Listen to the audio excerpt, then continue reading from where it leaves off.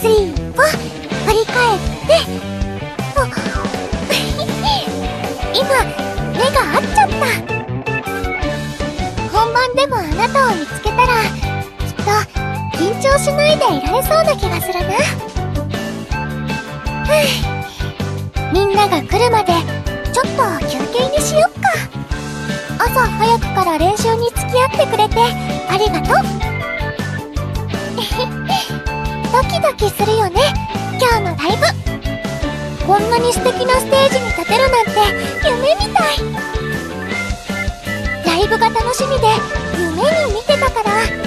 今日が本番だってまだちょっと信じられないんだ。でも今日のためにいっぱい努力してきたから。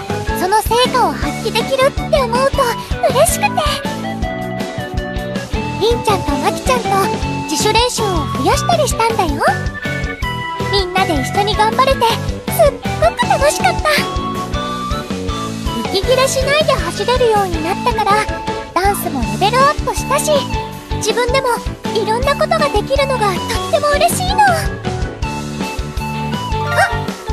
りんちゃんの声がする。